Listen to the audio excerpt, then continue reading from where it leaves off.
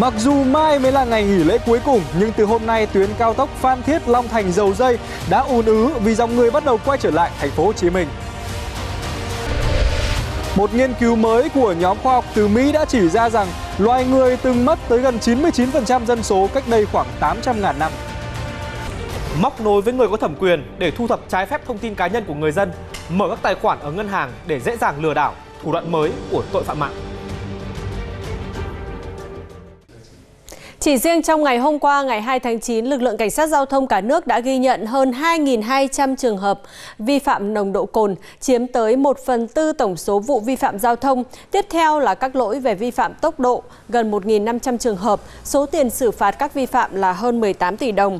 Tình hình giao thông các ngày nghỉ lễ tương đối ổn định, hầu hết các tuyến giao thông đều thông thoáng, không xảy ra ùn tắc kéo dài.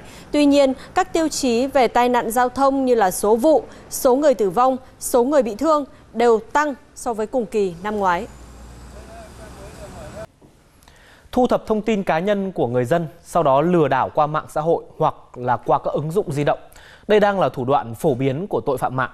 Nguy hiểm hơn, các đối tượng còn móc nối với những tổ chức cá nhân quản lý thông tin cá nhân của người dân để thu thập trái phép, mở các tài khoản ở ngân hàng để dễ bể lừa đảo hơn. Đây là đối tượng vừa bị cơ quan cảnh sát điều tra công an thành phố Đà Nẵng khởi tố về hành vi mua bán trái phép thông tin về tài khoản ngân hàng của người khác. Theo điều tra, từ năm 2020 cho đến thời điểm bị phát hiện, đối tượng này đã mở tài khoản và mua 57 tài khoản ngân hàng của 10 người khác, giao lại cho bên thứ ba để kiếm tranh lệch. Tổng số tiền đối tượng nhận được là hơn 166 triệu đồng. Trong số tài khoản ngân hàng được đối tượng này mở và đăng ký, có tài khoản được dùng để lừa đảo, chiếm đoạt tài sản của người dân với số tiền hàng trăm triệu đồng. Tôi có biết uh, vi phạm pháp luật khó khăn quá nên em uh, vẫn uh, giới thiệu người để mở tài khoản ngân hàng. Để lừa đảo, nhiều đối tượng đã móc nối và mua thông tin từ một số người có thẩm quyền quản lý thông tin cá nhân. Mới đây, Công an thành phố Đà Nẵng đã điều tra và khởi tố vụ án thu thập, tàng trữ, trao đổi, mua bán, công khai hóa trái phép thông tin về tài khoản ngân hàng theo Điều 291 Bộ Luật Hình sự. Vụ án này có liên quan đến một số nhân viên của ngân hàng. Các đối tượng có thể lợi dụng vô cái việc thu thập các thông tin dữ liệu đó để thứ nhất là hoạt động lừa đảo chiếm đoạt tài sản. Thứ hai là các đối tượng nó sẽ biết được thông tin cá nhân của các khách hàng trên hệ thống ngân hàng. Và cái thứ ba nữa là mang đến cái tiềm ẩn nguy cơ rủi ro về cái việc mà bán các thông tin tài khoản ngân hàng ra ngoài á, thì cho các đối tượng lợi dụng để thu thập cái thông tin dữ liệu đó để chuyển các dòng tiền lừa đảo chiếm đoạt tài sản qua các tài khoản đó. Cuối tháng 8 vừa qua, Công an thành phố Đà Nẵng cũng vừa phát hiện hai đường dây mua bán hơn 10.000 bộ hồ sơ thông tin cá nhân người khác, gồm mặt trước mặt sau thẻ căn cước công dân và ảnh chụp khuôn mặt và hơn 7.000 thẻ SIM kích hoạt sẵn. Các đối tượng trong ổ nhóm tội phạm này đã dùng để mở tài khoản trực tuyến của ngân hàng và ví điện tử các loại. Đến khi bị cơ quan công an phát hiện, ổ nhóm này đã đăng ký được khoảng 20.000 tài khoản ngân hàng và ví điện tử các loại. Mục đích mở các tài khoản để bán cho các đối tượng khác, lừa đảo chiếm đoạt tài sản. Nếu cái hành vi đó chưa đến mức à, cấu thành tội phạm thì sẽ bị xử lý à, xử phạt vi phạm hành chính à, theo nghị định 88 à, năm 2019. À, độ còn nếu hành vi của họ đủ yếu tố à, cấu thành tội phạm thì sẽ bị xem xét và truy cứu trách nhiệm hình sự theo điều 291 Bộ luật hình sự. Chỉ riêng trên địa bàn thành phố Đà Nẵng, từ đầu năm đến nay, Phòng An ninh mạng và Phòng chống tội phạm sử dụng công nghệ cao Công an thành phố Đà Nẵng đã khởi tố 26 vụ và 64 đối tượng. Theo nhận định chung, thời gian tới tình hình tội phạm trên không gian mạng vẫn còn diễn biến phức tạp. Để ngăn chặn đẩy lùi loại tội phạm mới này, ngoài trách nhiệm của các cơ quan chức năng, mỗi người dân cần nâng cao ý thức trách nhiệm, bảo mật thông tin cá nhân để phòng ngừa những rủi ro, nhất là đối với các tài khoản ngân hàng. Cụ thể là làm thế nào để có thể đấu tranh phòng ngừa hiệu quả với loại tội phạm này thì phóng viên chúng tôi cũng đã có cuộc phỏng vấn nhanh Thượng tá Lê Cao Tâm, trưởng phòng an ninh mạng và phòng chống tội phạm sử dụng công nghệ cao công an thành phố Đà Nẵng. Các đối tượng à, lợi dụng cái à, thông tin cá nhân à, của người dân để mở các cái tài khoản để lợi dụng để thực hiện hành vi phạm tội. Thứ hai là các đối tượng cũng triệt để khai thác các thông tin cá nhân À, để thao túng tâm lý à, người dân qua đó tác động làm cho người dân tin và dẫn đến là trở thành bị hại của các vụ án. À, thứ ba là cái việc lọt lộ thông tin của người dân thì cũng bị nhiều đối tượng lợi dụng để khai thác các thông tin cá nhân qua đó là thực hiện nhiều cái hoạt động vi phạm pháp luật khác, thậm chí là bôi nhọ, xúc phạm danh dự nhân phẩm của của người dân. Các cơ quan mà có dự, thu thập dữ liệu cá nhân thì phải có trách nhiệm quản lý và phải thực hiện theo đúng quy định của pháp luật trong việc mà sử dụng à, cung cấp cái dữ liệu cá nhân à, ra bên ngoài người dân cũng nêu cao tinh thần cảnh giác à, bảo vệ cái dữ liệu cá nhân của mình, không cung cấp cho những cái tổ chức cá nhân mà không được phép cũng như là cũng không công khai những dữ liệu cá nhân trên không gian mạng hoặc là cung cấp cho người khác để rồi người khác cung cấp đưa ra lọt lộ ra bên ngoài. Dạ. Trong ngày thứ ba của kỳ nghỉ lễ Quốc khánh mùng 2 tháng 9, nhiều di tích văn hóa lịch sử của thủ đô như là Văn miếu Quốc tử Giám, Hồ Hoàn Kiếm, phố cổ Hà Nội đến các khu vui chơi giải trí vẫn thu hút đông người dân và du khách. Đặc biệt là tại nhiều điểm đến mới thì lượng khách lên tới hàng chục nghìn người một ngày. Tại khu vực phía Tây Hà Nội, dù mới đi vào hoạt động, nhưng trung tâm mua sắm, vui chơi giải trí này thu hút khoảng 50.000 lượt khách một ngày. Nhiều trải nghiệm mới mẻ như khu thủy cung, trò chơi mạo hiểm, các gian hàng văn hóa nghệ thuật. Với điểm nhấn là khu chụp ảnh phong cách mới, đặc biệt hấp dẫn giới trẻ. Thử đồ nào. Ôi. Ôi, hay đấy. Nào, khu chụp nào. Đây là một gian hàng mà thu hút rất là đông các bạn uh, trẻ thanh niên tham gia những cái ngày này. Uh, trong dịp nghỉ lễ này thì số lượng các bạn về đây để cùng uh, chụp ảnh theo phong cách của Hàn Quốc ở gian hàng này là một trong những trải nghiệm được nhiều bạn trẻ đặc biệt thích thú. Chương trình chụp ảnh này đã rất là nổi tiếng qua những cái phim ảnh Hàn Quốc ạ. Bọn em xem và cảm thấy rất là thích thú ạ. Nên là bọn em lựa chọn đến đây để lưu giữ khoảnh khắc ạ. Dịp nghỉ lễ, khu di tích quốc gia đặc biệt Văn Miếu Quốc Tử Giám đón khoảng 3.000 đến 5.000 lượt khách tham quan mỗi ngày. Nhưng di tích đảm bảo trật tự, quy củ. Do các đoàn khách chỉ dừng lại khoảng 2 đến 3 phút tham quan từng điểm đến. Lần đầu tiên các cháu đến đây thì các cháu rất là vui và rất là hồ hởi và hứng khởi muốn tìm hiểu Văn Miếu Quốc Tử Giám là nơi mà truyền thống hiếu học của đất nước ta. Chúng tôi mới tới Việt Nam và rất vui vì tới đúng dịp ngày Quốc khánh của các bạn. Chúng tôi thấy phố phường trang hoàng rất đẹp. Tôi yêu đất nước và con người Việt Nam. Nhiều khu vực khác của Hà Nội như phố đi bộ quanh Hồ Hoàn Kiếm, Hồ Tây, công viên Thủ Lệ cũng ghi nhận lượng khách tăng cao. Làng văn hóa du lịch các dân tộc Việt Nam tại Đồng Mô Sơn Tây với chương trình Vui Tết độc lập đón gấp rưỡi lượng khách so với cùng kỳ năm ngoái. Dịp này, Sở Du lịch Hà Nội chỉ đạo các khu, điểm du lịch cùng các cơ sở vui chơi, giải trí sẵn sàng cơ sở vật chất, nâng cao chất lượng dịch vụ, tổ chức nhiều hoạt động phục vụ du khách và nhân dân. Thưa quý vị, kỳ nghỉ lễ năm nay thì hầu hết các địa điểm di tích bảo tàng trên địa bàn thành phố Hà Nội đều đón một lượng lớn du khách ghé thăm. Nhiều nơi thì lượng khách tăng đột biến cho thấy một tín hiệu đáng mừng cho ngành du lịch, đặc biệt là xu hướng đi du lịch tại chính nơi mình đang sinh sống. Đồng thời thì các di tích bảo tàng cũng tìm ra nhiều hướng đi mới để đưa những yếu tố văn hóa truyền thống lịch sử đến gần hơn với du khách trong và ngoài nước. Xin kính chào quý vị, ngay từ sáng sớm nay, tiết trời đã vô cùng dịu mát. Ngày thứ ba của kỳ nghỉ lễ, bạn đã có kế hoạch đi đâu chưa? Nếu là một người yêu mến văn hóa lịch sử, thì các di tích văn hóa truyền thống hay là bảo tàng sẽ là địa điểm mà bạn không thể bỏ qua trong kỳ nghỉ lễ này. Tại di tích đặc biệt Văn Miếu Quốc Tử Giám, chỉ trong ngày mùng 2 tháng 9 đã đón gần 18.000 lượt khách, tăng gấp 3 lần so với cùng kỳ năm ngoái. Dự báo được cái số lượng khách sẽ đến với di tích đông trong dịp nghỉ lễ thì đơn vị đã chuẩn bị các điều kiện rất là tốt ví dụ như là tăng người bán vé để phục vụ bà con làm sao mà mua vé thật thuận tiện và nhanh. Mà đặc biệt là đơn vị đã đưa cái hệ thống bán vé điện tử cũng như so với điện tử. Bên cạnh đấy thì à, đơn vị cũng bố trí đội ngũ thuyết minh cũng như là cái hệ thống thuyết minh tự động 8 thứ tiếng để làm phục vụ đông đảo nhu cầu của bà con. Em đi từ Tuyên Quang 5 rưỡi sáng xuống đến đây chọn Hà Nội là một điểm tham quan kỳ nghỉ lễ này thì là vì em muốn tìm hiểu thêm một số di tích lịch sử của Việt Nam và em đã chọn Văn Miếu Quốc Tử Giám và Hoàng Thành Thăng Long và một số địa điểm khác ở Hà Nội ạ.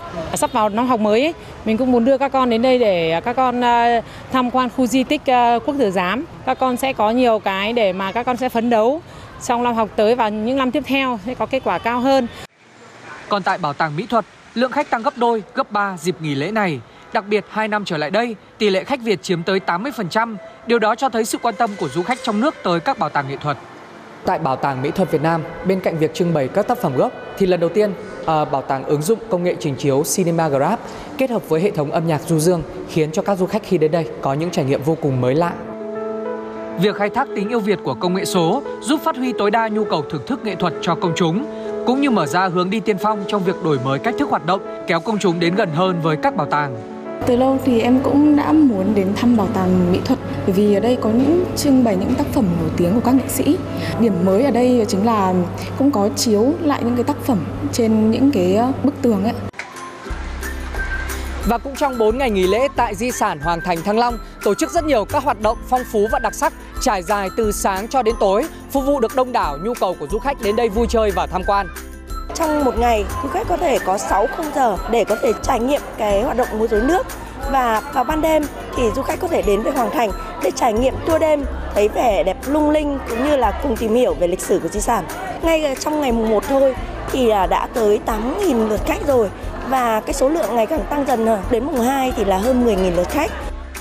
Các con số tích cực cho thấy những tín hiệu đáng mừng khi ngày càng có nhiều du khách lựa chọn hình thức du lịch tại chỗ, tham quan và khám phá các di tích lịch sử, bảo tàng, tạo nên sự thúc đẩy mạnh mẽ cho ngành du lịch thủ đô dịp nghỉ lễ. Cũng giống như tại Hà Nội thì trong dịp này nhiều di tích lịch sử tại thành phố Hồ Chí Minh cũng đón nhận hàng ngàn lượt khách trong và ngoài nước đến tham quan và chụp hình lưu niệm. Đây cũng là dịp để mọi người, đặc biệt là thế hệ trẻ, tìm hiểu những chiến công oanh liệt, những sự hy sinh anh dũng của cha ông đã ngã xuống vì độc lập tự do của Tổ quốc và những bài học quý giá từ lịch sử góp phần giáo dục truyền thống yêu nước. Ngay từ sáng, hàng trăm người dân đã xếp hàng vào tham quan bảo tàng chứng tích chiến tranh, nơi lưu giữ hơn 20.000 tài liệu, hiện vật, phim ảnh về chiến tranh, hậu quả từ các cuộc chiến tranh xâm lược đối với Việt Nam. Tham quan chuồng cọp, nhìn những hình ảnh khốc liệt nơi chiến trường, tận mắt chứng kiến những mảnh hiện vật còn sót lại. Trước thềm năm học mới, đây là địa điểm được rất nhiều các gia đình lựa chọn cho con em của mình vừa vui chơi, thư giãn, vừa hiểu rõ hơn về truyền thống yêu nước của dân tộc các bạn nhỏ được nghỉ học và mình cũng muốn là nhân cái dịp cái lễ này thì mình sẽ cho các bạn tìm hiểu về kiến thức ờ, về đất nước cũng giống như là giúp cho các bạn có thêm những cái niềm tự hào và cái yêu quê hương đất nước ờ, Việt Nam. Muốn muốn là các con luôn luôn ờ, nhớ đến thế hệ các cha ông như ông nội của của các cháu cũng đã chiến đấu và để giành lại độc lập cho dân tộc. Là những gia đình đến rất là đông À, đặc biệt là các em bé được gia đình đưa đến đây tham quan cũng là một hình thức trải nghiệm và cũng là một dịp để các bạn được vui chơi trong dịp lễ. Trên tinh thần phục vụ khách tham quan một cách tốt nhất, chúng tôi phục vụ khách suốt từ 7 giờ 30 cho tới 17 giờ 30. Thành thử là tạo thuận lợi cho khách, đặc biệt là những đoàn khách du lịch thì họ có thể đến tham quan bảo tàng bất cứ lúc nào. Bảo tàng biệt động Sài Gòn Gia Định sau vài ngày khai trương cũng là địa điểm được đông đảo du khách trong và ngoài nước ghé tham quan. Đây là nơi trưng bày 7 bộ sưu tập hiện vật quý giá với hơn 300 hiện vật, tư liệu về hình ảnh lực lượng biệt động Sài Gòn trong thời kỳ kháng chiến. Từ khi vào thành phố Hồ Chí Minh thì à, em cũng muốn đi những địa điểm ở trong thành phố Hồ Chí Minh này để đúng cái tinh thần là là giành độc lập mùng 2 tháng 9. Ngoài bảo tàng này thì em sẽ đi Dinh Thống Nhất, bảo tàng chứng tích chiến tranh thành phố Hồ Chí Minh. Trong cái dịp lễ, du khách trong nước và kể cả nước ngoài đến với bảo tàng chúng tôi thì có thể nói là tăng 4 đến 5 lần. Đặc biệt là cái lượng khách lẻ, không phải chỉ có người lớn mà các em, các cháu cũng đến rất đông với cái bảo tàng. Đấy là một trong những cái điều mà chúng tôi vui nhất vì họ đến đây họ sẽ thấy tự hào về cái truyền thống đánh giặc, giữ nước, cứu nước của Mặc dù ngày mai mới là ngày cuối của kỳ nghỉ lễ mùng 2 tháng 9, thế nhưng mà ngay từ chiều ngày hôm nay, tuyến đường cao tốc Phan Thiết Long Thành Dầu Dây đã bắt đầu ùn ứ vì dòng người từ các điểm du lịch bắt đầu quay trở lại thành phố Hồ Chí Minh. Điều này cũng là bình thường khi mà mọi năm ngày cuối cùng của các kỳ nghỉ lễ thường bị kẹt xe kéo dài, nên là nhiều người lựa chọn phương án là trở về sớm trước một ngày. Ghi nhận của phóng viên Minh Quang tại trạm dừng chân cao tốc Long Thành Dầu Dây hướng về thành phố Hồ Chí Minh.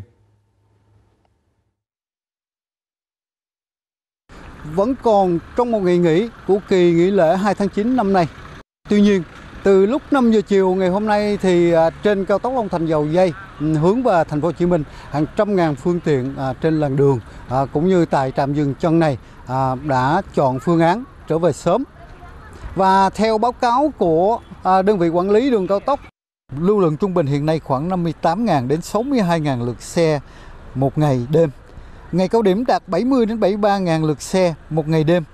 Dự báo là trong chiều tối ngày mai thì cái lượng xe sẽ tiếp tục tăng. À, khuyến cáo người dân lựa chọn lộ trình thích hợp để di chuyển trong ngày mai. Vâng, chính phủ Hàn Quốc, ở một thông tin khác ở Hàn Quốc chúng ta cũng rất quan tâm. Chính phủ Hàn Quốc sẽ thuê 100 bảo mẫu hoặc là quản gia người nước ngoài để làm việc cho các gia đình được chọn trong khu vực thủ đô Seoul, sớm nhất là vào tháng 12 tới. Đây là một phần của dự án thí điểm kéo dài 6 tháng nhằm khảo sát về hiệu quả của việc sử dụng lao động nước ngoài bù đắp cho tình trạng già hóa dân số tại đây. Ưu tiên cho dự án sẽ dành cho các gia đình có cha mẹ là người đơn thân, gia đình có nhiều con và các cặp vợ chồng ở độ tuổi từ 20 đến 40 tuổi đều đang đi làm. Các ứng viên bảo mẫu hoặc là giúp việc thì à, phải trên 24 tuổi, có kinh nghiệm làm việc trong lĩnh vực này và không có tiền án tiền sự. Những người được chọn sẽ được trả ít nhất mức lương theo giờ tối thiểu của Hàn Quốc là khoảng 15.000 won, tức là tương đương với 275.000 đồng một giờ. Tuy vậy thì mức lương này vẫn thấp hơn mức lương hiện hành đối với bảo mẫu hoặc là người giúp việc bản xứ.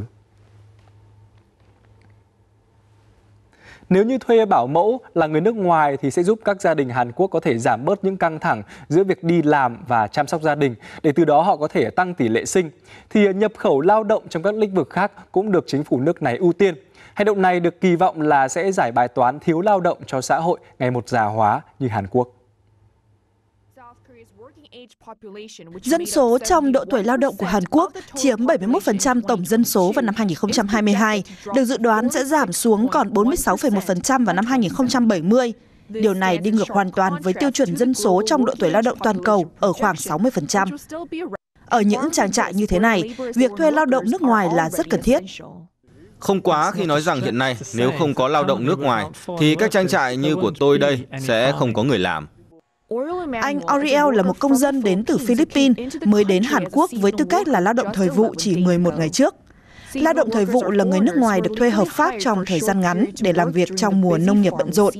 Hôm nay, anh và những đồng nghiệp đang gieo trồng cải bắp. Đây là lần đầu tiên thanh niên này rời quê hương để tìm việc làm ở Hàn Quốc. Điều tuyệt vời nhất là gì ư? Đó là một cơ hội việc làm tốt hơn ở quê. Nơi ở của các lao động cũng được chủ trang trại đầu tư, đủ cả chăn và điều hòa.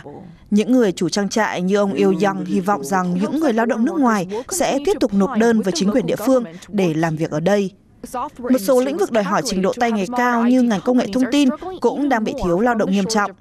Ngành phần mềm được tính đến cuối năm 2021 thiếu hơn 6.000 người, thiếu nhiều nhất trong số 12 ngành công nghiệp chính của Hàn Quốc. Các công ty công nghệ thông tin nhỏ thậm chí còn gặp khó khăn hơn trong việc tuyển dụng nhân sự do khó cạnh tranh với các công ty lớn với mức lương béo bở. Chị Sumeya có bằng tiến sĩ về kỹ thuật máy tính, là một nhà nghiên cứu công nghệ thông tin, đã chuyển từ Thổ Nhĩ Kỳ đến Hàn Quốc vào năm ngoái để làm việc. Tôi tò mò về công việc tại Hàn Quốc, trong đó Metaverse và AI đang là những lĩnh vực đặc biệt tiềm năng. Nhiều công ty công nghệ thông tin cho biết họ sẵn sàng đào tạo thêm nữa cho các lao động tay nghề cao, bởi Hàn Quốc hiện nay đang thiếu nhân lực cao cấp nghiêm trọng. Và những hỗ trợ việc làm như thế này được liên tục mở ra nhằm mục đích kết nối các công ty công nghệ với những lao động nước ngoài có nhu cầu tìm việc. Thêm một nghiên cứu khoa học khác đến từ một nhóm nhà khoa học từ Mỹ, Ý và Trung Quốc vừa chỉ ra rằng là dân số tổ tiên của loài người đã có sự sụt giảm trong khoảng từ 800.000 đến 900.000 năm trước. Họ ước tính rằng là thời điểm đó thì chỉ có 1.280 cá thể sinh sản còn sống trong quá trình chuyển đổi giữa kỷ nguyên canh tân sớm và giữa. Điều này đồng nghĩa với khoảng là 98,7% dân số tổ tiên đã bị mất vào thời điểm bắt đầu nút thắt cổ trai kéo dài khoảng 117.000 năm. Thuật ngữ nút thắt cổ trai chỉ hiện tượng số lượng cá thể của một quần thể lớn bị giảm mạnh do một sự kiện lớn nào đó. Trong thời kỳ này thì con người hiện đại di tản ra ngoài lục địa châu Phi và các loài người khác như là Neanderthal bắt đầu tuyệt chủng. Nghiên cứu cũng giúp tính toán sự mất mát về số người và sự đa dạng di truyền cổ xưa nhờ giải trình tự gen. Sự dịch chuyển dòng chảy thương mại sau cuộc chiến Nga-Ukraine đã làm giàu cho các nước vùng vịnh. Ngoài hàng tỷ đô la Mỹ từ lợi nhuận giao dịch hàng hóa thông qua hệ thống ngân hàng, còn có dòng tiền đầu tư từ Nga, đặc biệt là trên thị trường bất động sản. Các nhà đầu tư Nga đang tạo những động lực cho làn sóng sôi động trên thị trường bất động sản tại vùng vịnh. Cùng tìm hiểu với phóng viên Anh Phương, thường trú truyền hình Việt Nam tại Trung Đông. Khu đảo nhân tạo hình cây cọ Jumeirah Dubai sau một thời gian trầm lắng vì dịch Covid-19, những căn nhà mới nay lại tấp nập mọc lên. Valentina Gro là nhà môi giới bất động sản tại Dubai. Đến từ Áo, nhưng cô có thể nói được tiếng Nga. Nay, đó là ưu thế. Các nhà đầu tư bất động sản tại Dubai hiện nay nhiều nhất là người Nga, Trung Quốc và Ấn Độ. Sau những sự kiện vừa qua, thì Dubai đang nổi lên như một môi trường an toàn cho họ để đầu tư và để sinh lời. Một căn biệt thự như thế này hiện có giá khoảng 5 triệu rưỡi đô la Mỹ, tức khoảng 130 tỷ đồng Việt Nam. Đây một thời được xem là cái giá không tưởng. Dubai, mảnh đất chủ yếu là sa mạc. Diện tích chỉ hơn Hà Nội một chút. Có điều gì khiến cho bất động sản tại Dubai lại hấp dẫn đến như vậy? Nhưng giờ đây thì Dubai lại đang là điểm đến của không ít giới nhà giàu từ các quốc gia trên thế giới. Kể từ xung đột Nga-Ukraine, các nền kinh tế vùng vịnh đã bội thu nhờ giá dầu. Nhưng giá dầu nay không còn là lĩnh vực tăng trưởng nóng duy nhất tại vùng vịnh. Realisti là công ty môi giới bất động sản tại Dubai với đội ngũ nhân viên đến từ Nga. Chúng tôi muốn trở thành cửa ngõ cho những ai có ý định chuyển công việc làm ăn kinh doanh tới đây. Chúng tôi có thể lo từ A đến Z. Các khách hàng mà chúng tôi nhắm đến là các công ty gia đình lớn, các ngân hàng hay những nhà kinh doanh bất động sản tầm cỡ. Chỉ riêng trong năm ngoái, có tới khoảng 1,2 triệu người Nga đã tới Dubai. Và trong số những người Nga đã mua bất động sản tại Dubai thì có tới gần 70% là mua tới bất động sản thứ hai, thứ ba. Thị trường bất động sản tại Dubai đã tăng trưởng tới hơn 50% trong 12 tháng qua. Trong số những lý do thì rõ ràng những nguy cơ kinh tế hiện nay trên thế giới đang khiến nhiều người muốn chuyển đầu tư tới mảnh đất này. Trong số đó có những khách hàng Nga. Những ngày gần đây thì có những ngày giá trị giao dịch bất động sản tại Dubai lên tới 1,5 tỷ đô la Mỹ.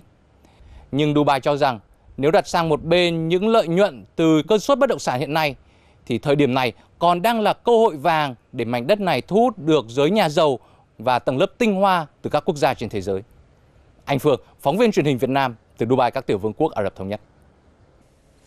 Tin quốc tế, nhà vua Thái Lan ngày hôm qua đã phê chuẩn danh sách nội các mới do Thủ tướng Srettha Thavisin đệ trình. Theo danh sách nội các công bố trên công báo Hoàng gia thì ông Srettha ngoài chức vụ Thủ tướng Chính phủ thì sẽ kiêm thêm chức Bộ trưởng Tài chính. Thông tin thêm từ các phóng viên thường trú truyền hình Việt Nam tại ASEAN. Nội các mới của chính phủ Thái Lan gồm 34 thành viên, trong đó có 6 phó thủ tướng. Ngoài chức Bộ trưởng Tài chính do Thủ tướng Sệt Thả nắm giữ, Đảng Quý Đức Thái còn nắm giữ 7 ghế bộ trưởng trong nội các mới, gồm Bộ Quốc phòng, Bộ Ngoại giao, Bộ Thương mại, Bộ Y tế, Bộ Văn hóa, Bộ Du lịch và Thể thao và Bộ Giao thông. Đảng Tự hào Thái, đảng lớn thứ hai trong Liên minh Chính phủ, nắm giữ 4 ghế bộ trưởng gồm Bộ Nội vụ, Bộ Giáo dục, Bộ Lao động và Bộ Giáo dục Đại học, Khoa học, Nghiên cứu và Đổi mới. Trong đó, lãnh đạo đảng này, ông Anutin Chanvirakul giữ chức Phó Thủ tướng kiêm Bộ trưởng Bộ Nội vụ. Ông Anutin cũng là Phó Thủ tướng trong chính phủ sắp mãn nhiệm, tiếp tục tham gia nội các mới. Các bộ còn lại do các đảng khác trong Liên minh nắm giữ. Theo kế hoạch, Thủ tướng đắc cử sẽ Thả Thavisin và các thành viên chính phủ mới sẽ làm lễ tuyên thệ nhậm chức trước nhà vua vào ngày 5 tháng 9 trước khi trình bày chính sách trước Quốc hội. Và cuộc họp nội các đầu tiên của chính phủ Thái Lan dự kiến sẽ diễn ra vào ngày 12 tháng 9. Ngọc Phương, phóng viên Việt Nam, thường trú tại ASEAN. Liên tiếp trong vài tháng, Ngân hàng Nhân dân tức Ngân hàng Trung ương Trung Quốc đã hạ lãi suất 3 lần để hỗ trợ nền kinh tế, đặc biệt là lĩnh vực bất động sản. Các tập đoàn bất động sản đang tích cực tìm giải pháp để tháo gỡ nợ nần. Mới đây thì tập đoàn bất động sản lớn nhất Trung Quốc Country Garden đã được các chủ nợ cho phép gia hạn thanh toán một lô trái phiếu, tránh nguy cơ vỡ nợ.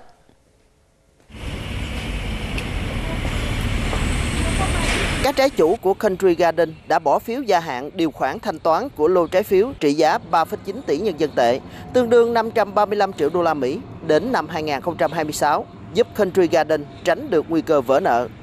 Vẫn còn vài lô trái phiếu với tiền thanh toán lãi vài chục triệu đô la Mỹ sắp đến hạn phải trả. Country Garden đang tìm cách giải quyết. Nửa đầu năm nay, Country Garden báo lỗ gần 49 tỷ nhân dân tệ, tức gần 6,8 tỷ đô la Mỹ Đồng loạt các ngân hàng Trung Quốc vừa hạ lãi suất để hỗ trợ thị trường bất động sản.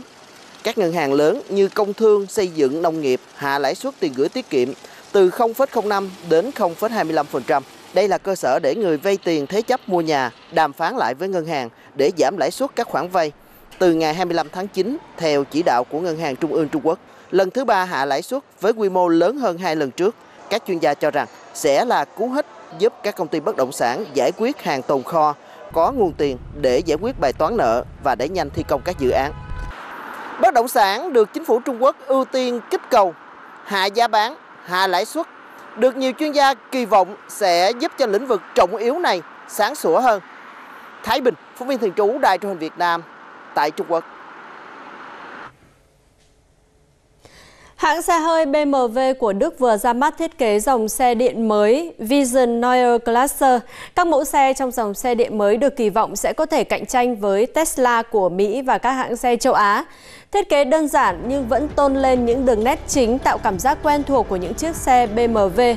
Nội thất của xe với màn hình và các cửa kính lớn, dung hợp cả thế giới thực và ảo, tạo cho người dùng cảm giác đang ở trong phi thuyền của tương lai. Vật liệu dùng cho xe được cân nhắc giảm khí thải carbon, thân thiện với môi trường. Xe thuộc dòng xe điện mới này có thể nạp điện nhanh hơn 30% và đi xa hơn 30%.